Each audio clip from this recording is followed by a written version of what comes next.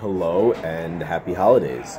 It's a little bit before Christmas and uh, specifically, but um, just uh, hanging out a buddy's thing, um, kind of writing as I go, um, mentally more than anything, but just um, wanted to share some words with all those writers out there who uh, continually push themselves to push out good material and um, practice and perfect their craft. Yeah, published my debut uh, work this week. Um, pretty exciting. Um, everything's a win, you know. Um, got a big uprising and support on on put of uh, support from like people that I've known for years, as well as new readers. Um, and I'm the thing that I'm kind of hung up on now is figuring out how to market the most because no one really knows, right? So, um, one, I'm marketing my successes, um, which I found to be successful. Um, even the unsuccessful ones, but you know, it's still early, so I'm still figuring out.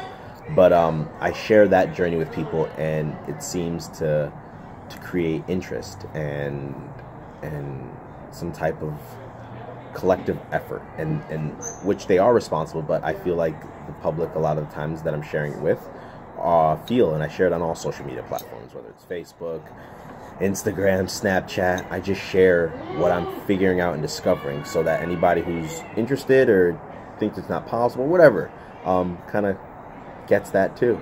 Um, but one of the things that I found that was used um, resourceful was uh, Amazon's analytical platform.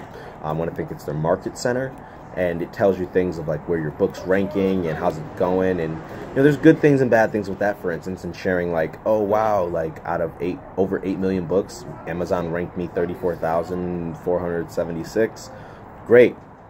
But that doesn't mean people should rest at that platform and accept that as we made it. Because no you still want to be the best. You still want to push more. You still want to push the boundaries and try new things and um, I'm doing that and figuring it out and you know it's it's great. It's great. Um, I love where I am. I love where this book has brought me. I love the things that it's taught me above all else and um, the anticipation before everyone gets the book that's where it comes in and then how to sustain it like figuring it out. Um, so I'm at a buddy's place right now.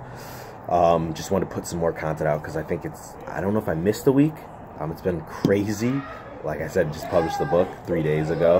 Um, but it's good. And, you know, now I, I, see my eyes wandering different places. For instance, I'm at my buddy's house and uh, just taking a break while everyone's inside. And um, my eyes went to the bookshelf. So what do I see at the bookshelf? David Mamet, the maestro himself. And it's a book I saw a while ago, but I thought I'd just open a couple pages, and then that started up another conversation at the party. Um, what's that? Why are you reading the book? Or not reading it, but just looking at it, you know? Um, not like necessarily being unsocial, but, you know.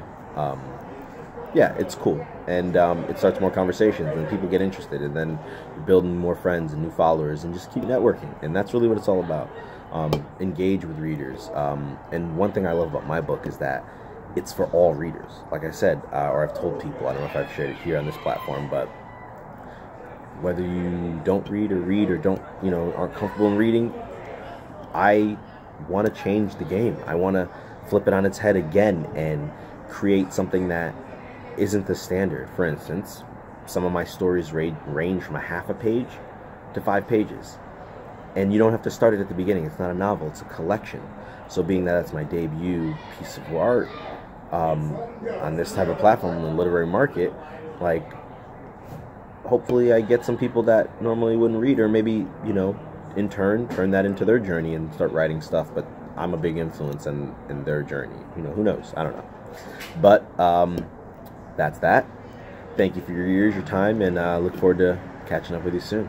All right, happy holidays, Merry Christmas, Happy Kwanzaa, Happy Hanukkah. Kind regards.